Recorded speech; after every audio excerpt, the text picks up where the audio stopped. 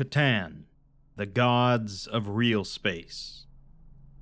The lore of Warhammer 40k goes back millions and millions of years, long before the present squabbles of humans, orcs, Eldar, and Chaos.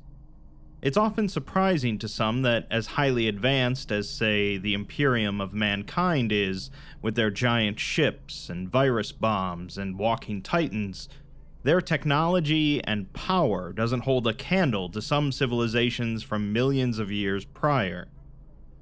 The Necrons, the walking metallic undead that have been slowly awakening in the present day, were once the most powerful civilization to ever exist, but they didn't become so without a little assistance.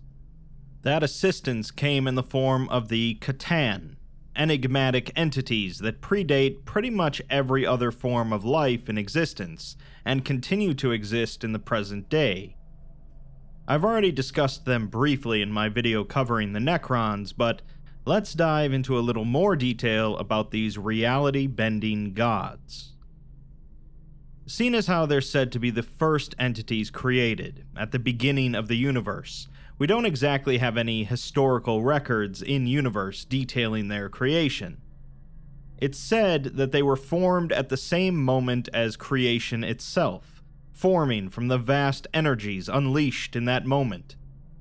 At this time, long before the first planets came into shape, the C'tan emerged from the roiling seas of plasma and solar flares, bearing little resemblance to their later forms. Here, they were simply monstrous parasites that took to suckling on the solar energies of various stars, shortening the star's lifespan by millions of years.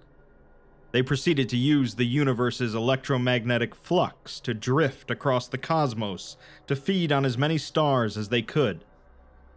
They were entities of pure energy, and only the vast power of a star could nourish them so they ignored the relatively barren planets they drifted by. During this untold time, as these star vampires continued to drift and feed, a race of sapient creatures began to expand across the universe, utilizing both advanced technologies and potent psychic powers, known today only as the Old Ones. According to one C'tan, known as the Deceiver, the Old Ones went to war with the Star Vampires, and won, forcing them into hiding for a great many years. We have no way of knowing if this is true, and an entity known as the Deceiver is not the most reliable source. But what we do know is that the C'tan were eventually discovered by the Necrontyr.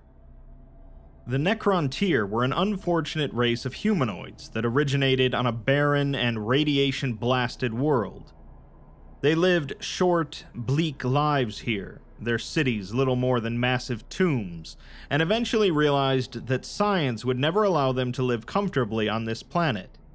Instead, they took to the stars, utilizing slow moving ships equipped with stasis crypts. Before long, they met the Old Ones and saw how hopeful and powerful the Old Ones were. They petitioned them for their secret of long life but the Old Ones refused to share any knowledge. This ignited a fire in the hearts of the Necrontyr, who dedicated their lives to destroying the Old Ones. This was a rather questionable decision, however, as the Old Ones outclassed the Necrontyr in practically every way, including their way of traveling vast distances due to a system known as the Webway, and their psychic abilities. To no one's surprise, the Old Ones easily beat the Necrontyr back into the far reaches of space, where they were considered to be little more than a minor annoyance. Here they sat, in a form of impotent imprisonment, for centuries, desperately attempting to find a suitable weapon to use to strike back against the Old Ones. During this time, the surviving Necrontyr fell into a war of succession, with the various dynasties vying for control. The leader of the Necrontyr, Szarekh the Silent King, began to perceive some anomalies in the oldest dying stars, leading to an extremely curious discovery. There were entities living on these stars, creatures of pure energy feeding on solar flares and magnetic storms. These creatures were perceived by the Necrontyr as the children of their death god, and believed that they would be the weapons they needed to strike down the Old Ones. As such, they named these entities C'tan, meaning star gods. How exactly the Necrontyr managed to make contact with such vast and alien entities of energy is unknown, but for them to be used as weapons, they needed physical bodies of some sort. The Necrontyr had access to a material called necrodermis, or living metal, which in layman's terms would be akin to nanomachines.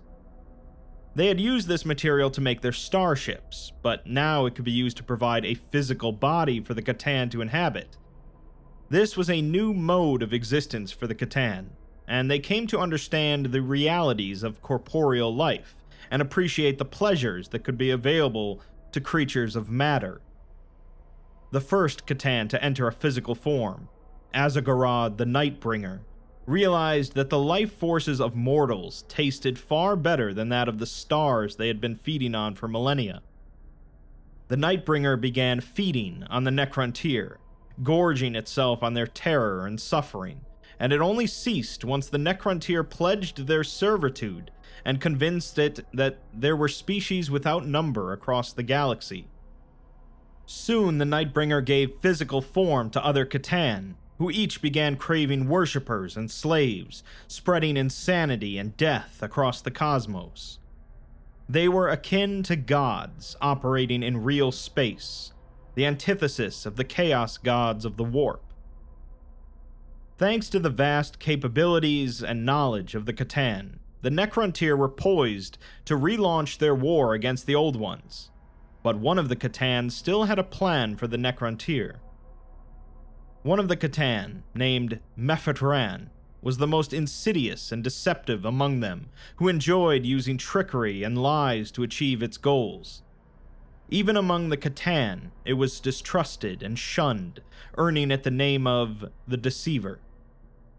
It was the Deceiver that came to the Necrontyr and told them that there was a way to extend their lives and achieve immortality by shedding their mortal flesh and transferring their minds into metal bodies. The Triarch, the ruling body of the Necrontyr, debated for months on the decision, until finally agreeing to the process of biotransference. Massive bio furnaces were set up to destroy the Necrontyr's weak bodies and encase their minds in living metal, but they were, of course, deceived as the C'tan gathered around these furnaces and consumed their life force in the process. The C'tan grew even stronger, and the Necrontyr were no more, instead becoming the Necrons, everlasting servants devoid of free will, set to conquer the galaxy in order to continue feeding their masters. With the power of both the C'tan and the Necrons combined, the Old Ones stood little chance. The C'tan could bend reality to their will, and during their conquests, planets were razed, suns were extinguished, and entire systems were devoured by black holes. Thanks to one of the C'tan, the Necrons were able to gain access to the Old One's webway, giving them the ability to swiftly travel the cosmos and accelerate the war against the Old Ones. Unfortunately for the C'tan, however, they were not immune to the same squabbles that plagued all sapient races, although the exact reason for the cause of their civil war is unknown. In one version, one of the Eldar gods, the Laughing God, tricked one of the C'tan into eating another C'tan, driving it insane. In another version, the Deceiver managed to convince the other C'tan that of all the life forces that they could consume, the C'tan themselves were the greatest, causing a civil war to break out amongst them as the strong fed on the weak. Together, the C'tan and the Necrons were the greatest force the galaxy had ever seen, but nothing lasts forever. With their infighting, the C'tan were weakened, and a number of races that the Old Ones had created and fostered had begun to rise up in strength and numbers, notably the Eldari. Due to these races sharing the Old One's affinity for the warp, they were able to battle against the cold science of the Necrons, pushing them and the C'tan back across space. Facing down a potential defeat, the C'tan rallied together once more and managed to seal off the warp from sectors of material space, weakening their opponents that depended on the warp for their power. Before long, the C'tan and the Necrons had managed to annihilate the Old Ones completely, and they were poised to become the dominant empire of the galaxy. In this moment of victory, however, the Silent King of the Necrons, Szarekh, chose to take the opportunity to turn against their masters. Szarekh had been imbued during the biotransference with the capability of controlling the entire Necron race, and so he turned their weapons against the C'tan in a great revolt. As powerful as the C'tan were, they were few, and eventually the might of the Necrons overwhelmed them. That's not to suggest that this revolt was a simple matter, as the devastation was great, and the weapons the Necrons used against them were so terrible that the Silent King ordered them destroyed afterwards, and it's said that they damaged causality itself in the process. Afterwards, the exhaustion of winning two wars and the prospects of fighting a third against the Eldar caused the Necrons to go into a great hibernation. Most of the C'tan were simply shattered into a number of shards, but some, such as Llandu'gor, were completely annihilated. In Llandu'gor's case, this annihilation prompted it to afflict the Necrons with a virus that causes some of them to go insane with bloodlust, becoming known as Flayed Ones. As for the Shattered C'tan, they became fragmented into a number of shards, each one an echo of their former self. The Necrons managed to take these shards and contain them in small artifacts called Tesseract Labyrinths. No individual shard has a full recollection of the complete entity it once was, although this doesn't exactly prevent it from harnessing the same power that the C'tan displayed. Even as a shard, these entities, if unleashed, can devastate an entire battlefield with little effort. The Necrons in the present day utilize these shards on occasion if the situation calls for it, but they are wary to do so, as it's certainly possible for a shard to break from enslavement.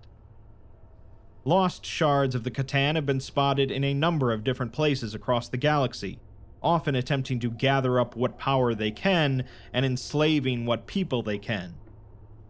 Sometimes, in dire situations, the Necrons will unleash an amalgamation of a number of shards gathered together, in a form known as a transcendent C'tan, although the chance of collateral damage from such an entity is nearly guaranteed. Let's go over some of the known C'tan and their present status. Aza'gorod the Nightbringer delights in death, suffering, and despair, and it's no surprise that it became known to the Necrontyr as a god of death. The Eldar called it the Destroyer of Light, while humanity called it the Reaper, and it nourished itself on the fear it caused across the galaxy. Aza'gorod was the first to appear to the Necrontyr, and in some legends was also the first to be tricked or convinced into consuming the other C'tan. It was shattered by the Necron's god-killing hypercannons, and its shards were enslaved. Iash'uddra was thought by the Silent King to be the most reviled, and was called the Endless Swarm. It was said to be an everlasting sickness that was birthed in the minds of mortals, continuously being behind and seen through the eyes of all. Apparently, the sorrow of the void brought it to the mortal brink and severed its bonds, upon which point a thousand tides of misery were released upon the stars. One of its shards is possessed by Trazyn the Infinite, a Necron overlord and keeper of history. As mentioned, Llandu'gor, the Flayed One, was obliterated by the Necrons apparently on the Silent King's orders, and as such there are no shards remaining. Mag'ladroth, the Void Dragon, was said to be the greatest and most terrible of all the C'tan. Mag'ladroth was a figure of wanton destruction and devastation, but was also responsible for creating the warp suppression pylons spread across the galaxy to block the Old One's source of psychic power, some of which were located on Cadia. Mag'ladroth was also shattered during the Necron's revolt, its shards imprisoned, although a number of shards escaped. One loose shard managed to lay waste to an entire dynasty of Necrons that went to retrieve it, and it gorged itself on a dozen worlds before being imprisoned. According to some legends, the Void Dragon is the same entity as the Dragon of Mars, an ancient, powerful creature that was defeated by the Emperor of Mankind at some point in the past, and imprisoned in a labyrinth underneath the surface of Mars. There are some similarities between the two, such as the Dragon of Mars being said to have once lived in space between the stars. It had brought entire civilizations into existence and then snuffed them out on a whim, and it waged war with its own kind. Without knowing more about the Dragon of Mars, however, it's impossible to say if it's the same entity as Mag'ladroth. Mephet'ran, the Deceiver, was the one responsible for convincing the Necrontyr to throw off their mortal forms, and was one of the physically weakest C'tan, only surviving due to its deception and cowardice.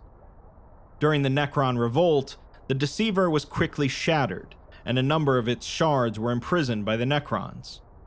Despite this, however, there have been a fair number of shards discovered elsewhere, and each one has been capable of disguising itself in various forms and allowing it to continue wreaking havoc through deception. One shard appeared as a planetary governor, another as a Necron overlord named Nephreth, and another as the Primarch Omegon. It seems likely that the Deceiver is going to continue to be a thorn in just about everyone's sides.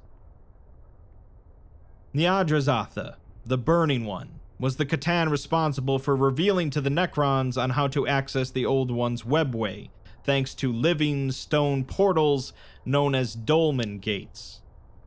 It was known as an entity that took glee in burning any and all things, and it wished to bring its eldritch fire into the webway. During the Necron Revolt, it's said that the Silent King Szarekh himself shattered Nyadra'zatha with his spear, and one of its shards now powers the Silent King's personal vehicle.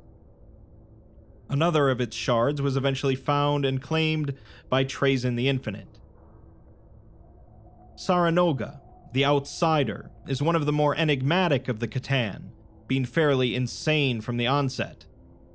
Its gaze caused madness and despair, and those in its presence would often rather take their own lives than endure more of it. According to some Eldar legends, the Outsider was the one that was tricked by the Laughing God into devouring its brethren, and this is what truly drove it insane. Regardless, its ultimate fate is fairly unclear, but it doesn't seem to be the case that the Necrons shattered it, instead, stating that its madness had become too terrible of a foe to slay. Some claim that it rent itself asunder, while the more common thought is that it went into hiding until it will someday emerge and spread its madness once more. Yggra'nya, the World Shaper, was responsible, as its name implies, for forming a number of artificial worlds belonging to the Necrons. Principal among these was a world named Borsis, also called the World Engine, after Yggra'nya was shattered, one of its great shards was placed inside of Borsis, and in the 41st millennium, a Necron dynasty activated the world and sent it on a path straight to Mars to activate the dragon. The Shard, however, didn't want to go through with this plan, and instead managed to contact a Space Marine chapter. In the end, it made a deal to destroy Borsis if the Imperium would let it go and leave the galaxy, which it appeared to do so. Necron forces are in possession of other shards of Yggra'nya and have used them in battle against the Imperium.